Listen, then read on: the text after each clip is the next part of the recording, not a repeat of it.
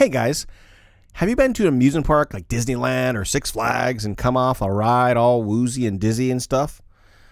Well, what if it lasted for months and you were just losing it and losing your zeal for life and, you know, things weren't looking good and then you started going to neurologists and uh, specialists and they couldn't help you. A bunch of specialist chiropractors couldn't help you. Would you come all the way from Chicago to see another chiropractor? Well, this guy did.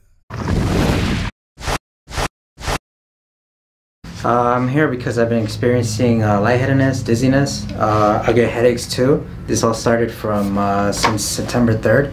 Uh, I, I went to Six Flags, and uh, after two weeks from from Six Flags on September 3rd, I started experiencing headaches. I thought it was stress, but it got worse and worse throughout the, the year, and then it's developed to migraines. And finally, around May, it was like a ticking time bomb, and I got the lightheadedness for the first time ever in my life. I forgot about the car accident. Neurologist, ENT, ENT, right? uh, general practitioner, Yes. uh, vestibular therapist. a vestibular therapist. He went to somebody directly responsible for taking care of his dizziness. Yeah. And so how'd that work? out? I'm curious what they do. Uh, he's the one that uh, diagnosed me with. Uh, he calls it cervic- cervicogenic dizziness. Uh, basically, it's Brilliant. like Comes from your neck. Yeah, it comes from the neck. Yeah. Brilliant. Uh, first chiropractor was a sports chiropractor. Uh, they are known for adjusting the Blackhawks back in Chicago. Uh, what are the Blackhawks? That's some kind of team or something? Yeah, the, the hockey team. Sorry. it got to the point where after six adjustments, uh, they started causing more of an imbalance in my spine. So then I started getting more dizzy and uh, more high lightheadedness. I let them go and I went to a Gonstead. And then last one, you went to a five-star chiropractor. That's what he says. So tell us about that one. Yeah, this this one, the five star chiropractor, a lot of great It's reviews. I'd have to go every week, every single week, and then minimal improvement. Yeah, three months. Three Yeah. months. So when's the last time you saw him? The week ago, two Uh, weeks ago. Two weeks ago. For some reason, it radiates on mostly the Just carpal tunnel guys coming Yeah. from the neck.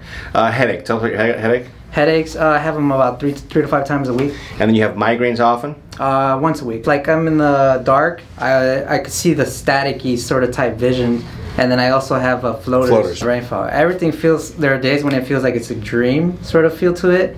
Like if I were to get in like in an accident or something, I wouldn't really react as I should, and I'd have to sleep a lot to feel refreshed. Oh yeah, yeah. You said it used to be six to seven hours, and now it's eight to nine or ten hours before you feel refreshed, right? Yeah, thought pretty much I was full of it, and they just prescribed me something called Lexapro or whatever. Yeah. Antisocial. I thought that was interesting. Tell us about that. Uh, for me, I'm like, I, I guess I get, I get pretty anxious now. Mhm, Uh, ever since this happened, uh, I'm kind of scared to go out.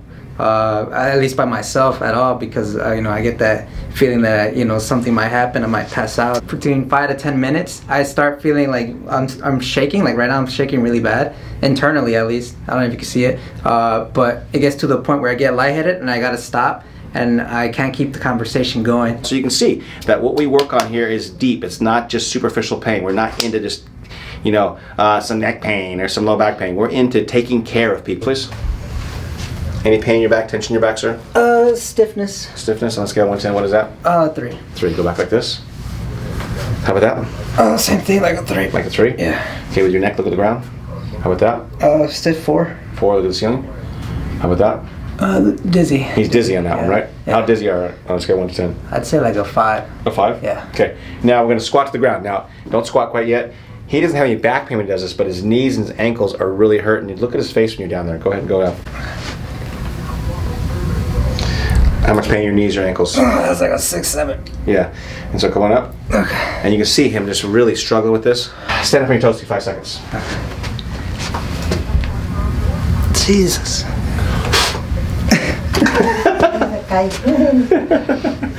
Bad balance, right? That's really bad, yeah. Yeah, yeah. Okay. Let us go. Be fine. Good. We have this relax here. Good.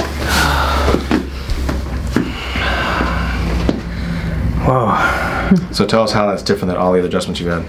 That was, more intense. That was, uh, uh, there was a lot of noise. A lot of, a lot of stuff that got moved back A lot of stuff, yeah, right? Yeah. Okay. Um, different than the other chiropractors, right? Yeah. That was, Cool. that was intense. Yeah. Good, good, good, good. good.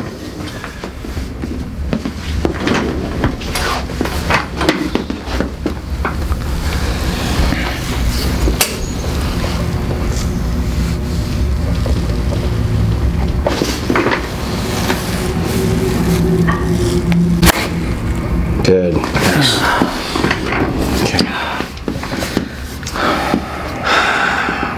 nervous? Yeah, that, that got the first one was intense. Second one, I just, oh man. So getting up after a cervical adjustment can be a little tricky when you have vertigo. So I wanted to help him up, of course, and tell him not to twist or turn. Let's see how he's doing.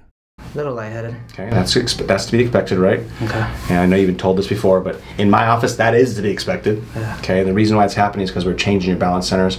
By changing your balance centers, it's forcing your body to have better balance. Okay. Okay. After the adjustment, recalibration is one of the most important things. Let's watch him walk and see how he's doing. What's going on, dude? A little lightheaded. A little lightheaded, Yeah. Still a little. I can see it. Nervous, yeah. Yeah, nervous too. You Yeah. can see the emotion in his face. Yeah, why the emotion? I'm kind of curious. Uh, Is it because you're really dizzy, you're gonna fall, or because you're feeling different? What's it? yeah, and that the intensity of the adjustment. Yeah. I feel like it's like I guess it's unwinding something. Yeah. I can't really explain it. I feel like lighter. Like You do? yeah.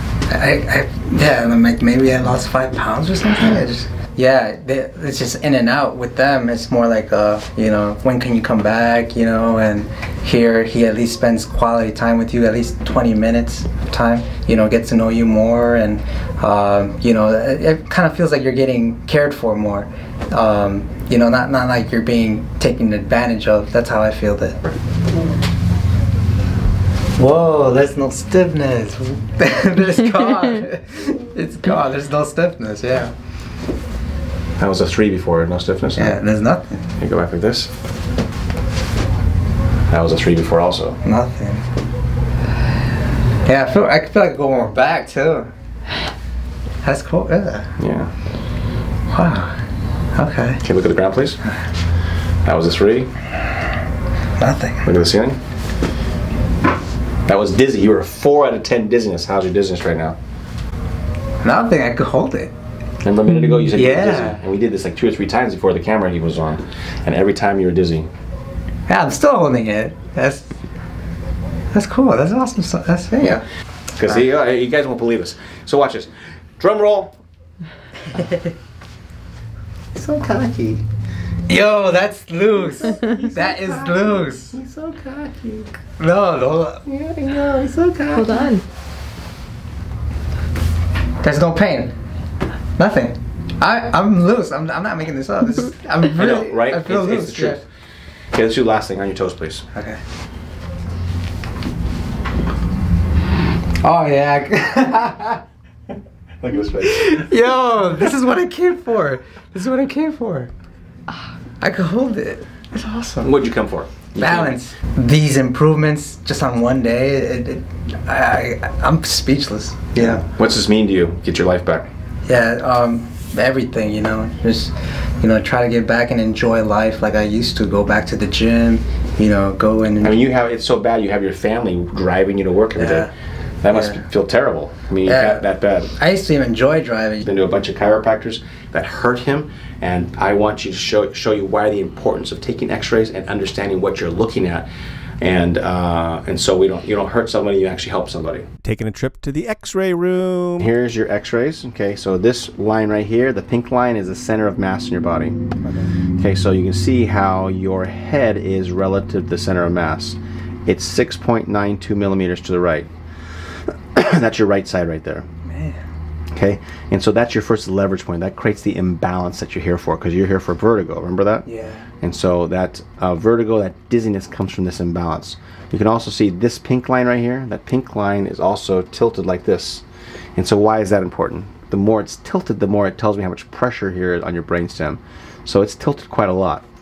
Um, this line right here is your TMJ. And so if you look here, there's more space here and less space over here. So essentially your whole jaw is shifted this way. And so why is that important? Well, the more pressure you have on one side of the jaw, the more you tend to grind your teeth, the more you tend to clench your teeth, and that will give feedback to the neck. And so here is your left side right here.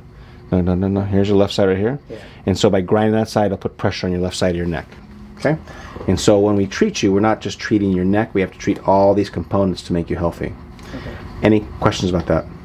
Okay. Is that why, like, I sometimes when I open my mouth to eat, I hear like clicking? Yeah, that's why you hear clicking and popping. okay. Yeah, but that clicking and popping is just a symptom of the problem. So the re- when it clicks and pops, it means there's some tension in there, and sometimes you, again, in your as you sleep, you bite down harder, you clench harder, and that'll throw you out while you're sleeping. Oh, Okay?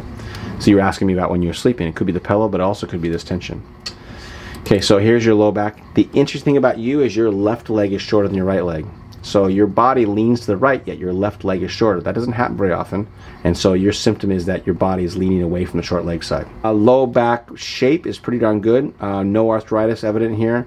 Um, all looks pretty good. Bones look healthy. Uh, spine looks healthy down here. Your neck should be shaped like this yellow line. So we all, we've seen plenty of opportunities to have reverse curves or kyphotic curves, meaning going the wrong way.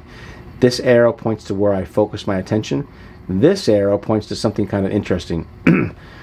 if you can see here, see this black vert, black spot right here? Yeah. That's open. See how this black spot right here? It's open.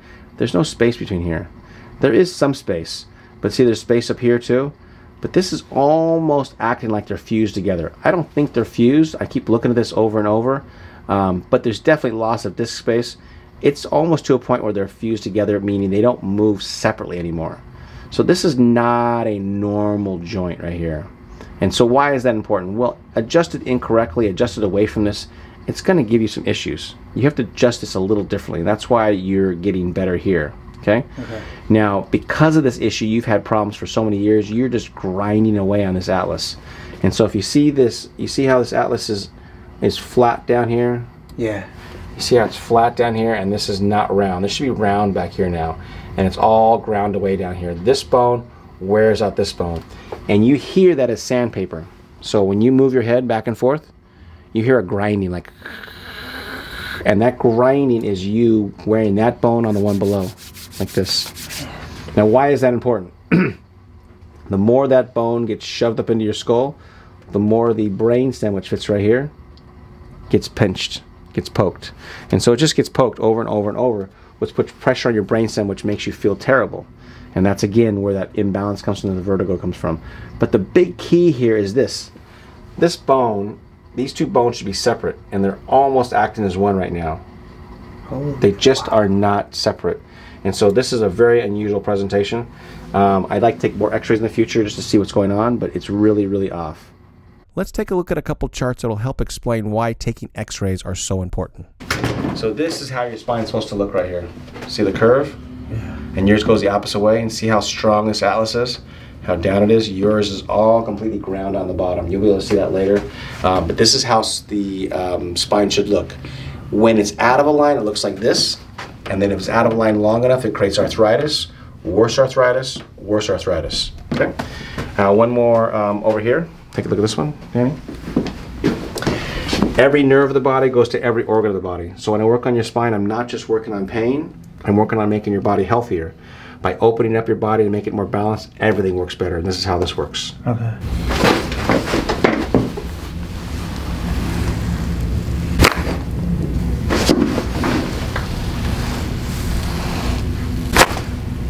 When you guys come up here, come here with an open mind. Do what I frickin' tell you because you're only here for a short period of time.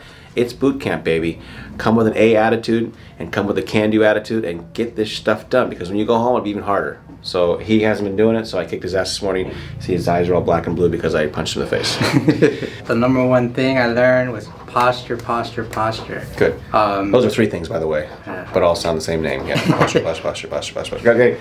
So, uh, what weren't you doing? You weren't working on your posture the last couple days, right? Yeah, I was slagging off. As long as you're scratching your butt with good posture. See, this bad, good posture, good. So again, it's just how you do it, guys. Did you get that on camera, by the way? Good. Do you see me scratching? Good. I haven't had headaches like I usually do. I, if anything, I had just a little head pressure yesterday. That's Cool. about it. And what about the dizziness? Uh, dizziness, dizziness is is there still, but not as worse as it was before. Gotcha. So much better there. I'd say like a 30, 40 percent. Arm, wrist, something. Oh yeah, that's gone. Yeah, How about the brain fog? Brain fog. Oh yeah, I'm definitely more alert. Yeah, that's funny.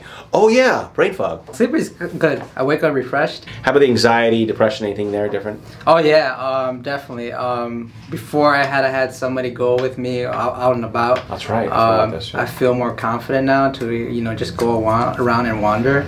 So um, that's a plus. Any change in vision? Uh, vision, uh, it's still there, but not as bad. There's still a little a staticky sort of vision to Gotcha, it. gotcha, Yeah. gotcha. How about ringing the ears daily, Ringing- every day, oh, by no, ear? no ringing. So you saying we cured your tinnitus? Yes, Gotcha. there's no ringing. Definitely, you know, because normally I'm mostly not self-conscious of posture. Try to be more aware of it. Try to, um, you know, if anything, reset myself. Take my time with it. Um, and yeah, you know, just follow your instructions, and you know, I'll see the, the results. Couldn't have said better myself. It's been the same adjustment right through the middle of the neck.